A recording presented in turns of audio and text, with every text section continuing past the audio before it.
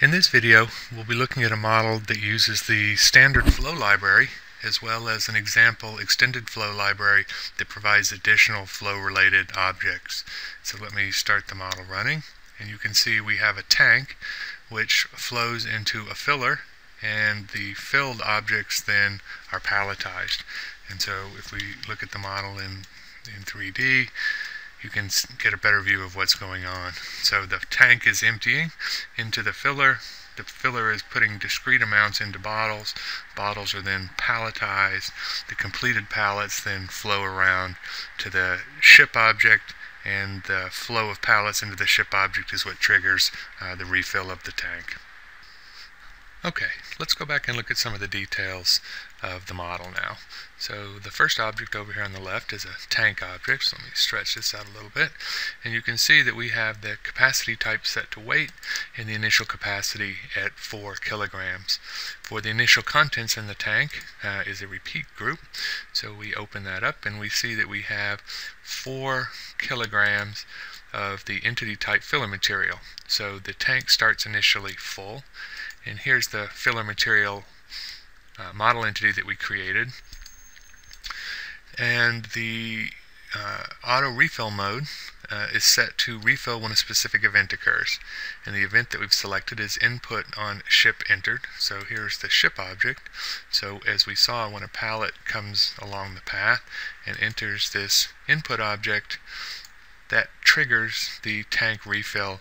And of course, we refill the tank with the same uh, filler material uh, entity type. So we have a flow connector that connects the tank to the filler object, and the key to the flow connector are the two regulators on the end. So we just have the default value set to the initial flow of 100 cubic meters per hour, uh, a maximum flow rate uh, at both regulators uh, coming out of the tank and going into the filler.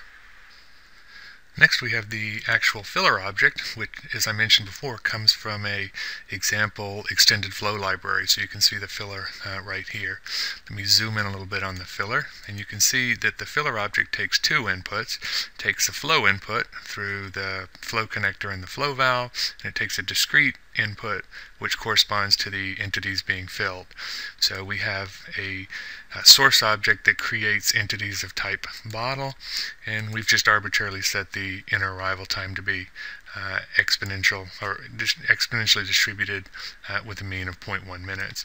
So a bottle arrives and the flow um, is coming through the flow regulator and the filler then will fill 0.25 kilograms in each entity and emit a discrete bottle entity. So the filled bottles then are placed on a conveyor and the conveyor is set to a speed of 1 meter per second. And the conveyor transport the bottles into the combiner.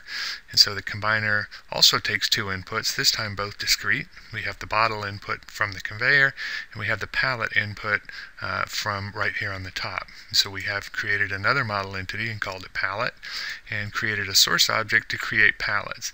Interestingly the triggering event for the source is the output on combiner 1 ent uh, entered. So when a completed pallet enters the uh, output node, that's the signal for the source to create an empty pallet. So this would be equivalent to uh, always having an empty pallet available when one leaves.